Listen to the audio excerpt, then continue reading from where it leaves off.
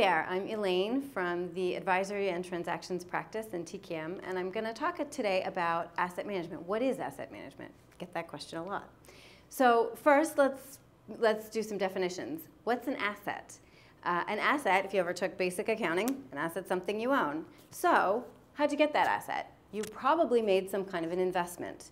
Uh, for asset management, what we're doing is then saying, given that investment, given the expectations you had when you got into it, did it do what you expected it to do?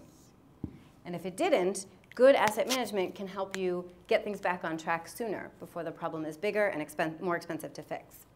So there's a couple of dimensions to asset management.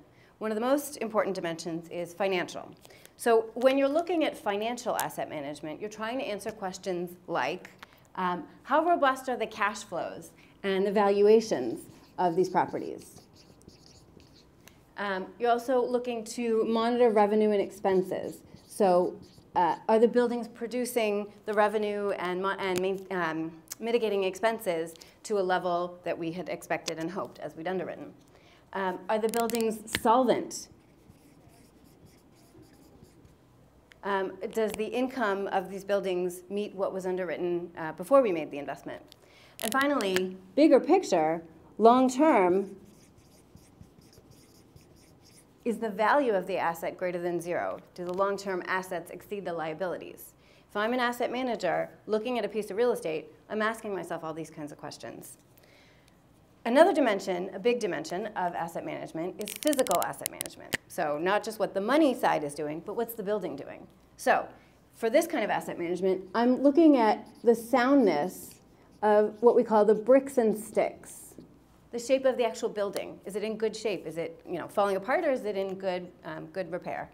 Um, are there uh, sufficient maintenance and repairs happening? Right? Is this building crumbling or are we taking good care of it? Um, big picture, is this is a safe and attractive place to live or work? And finally, um, again, looking long term, are there conditions in place uh, and money in place to keep it in good repair over time? So um, if you're an asset manager, you're looking at all these types of dimensions.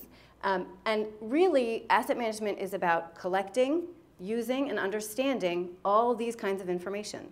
Um, which is how TCAM, which is an asset management firm, fits into the bigger MRI software universe. Um, thank you for joining us on this Whiteboard Wednesday. We'll talk again.